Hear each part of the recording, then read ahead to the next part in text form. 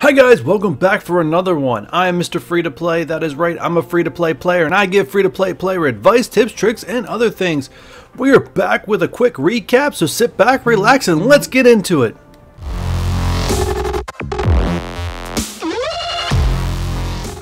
Alright guys, this video is a quick recap on my progress for the Wakandans to that new Red Star promotion credit. I think dropping, I think it's dropping March, April, somewhere in there. I'm not sure, I can't remember off the top of my head. So I'm making great progress towards that. Not only that, you guys gave me a new war team, you guys gave me a new blitz team, and well, I hope you guys are enjoying the footage of the Wakandans kicking ass in a blitz. Sorry for the language, but anyways, um, yeah, so let's show you where we're at with these.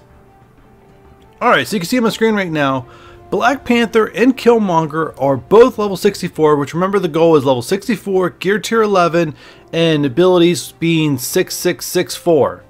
So, Black Panther, Killmonger, levels done. Killmonger is the only one that has completely checked all those boxes, and if you want to know what the little red dot is, they want me to gear tier um, not gear tier, uh, T4. Their passives, which I'm not doing at this time, I'm holding off to make sure that they are, the T4s being put into something useful.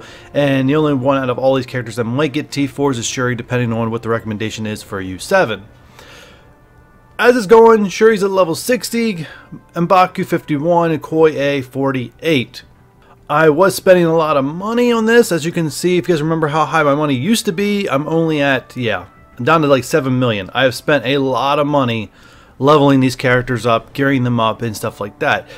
I'm I've now slowed down spending money on them just because, as you can tell by Shuri and Black Panther, I've run out of purple gear. it, I can't level them up. So, no point in me overspending until I'm able to get the gear that I need to level them up. So I've kind of slowed down that, but it's worked out great. I'm like 14 shards away from unlocking Symbiote Spider-Man. So, you know, glass half full. And that's where I'm at with the cons, guys. That's a quick update. I plan on doing these update videos on Mondays, just that my work schedule had to change this week a little bit to give me, I had to work Monday and have Wednesday off. Weird stuff. Before I end this video, I want you guys to make sure you guys check out Friday's orb opening show. On Friday, I will be opening 30, yes, you heard this correct, 30 Red Star orbs.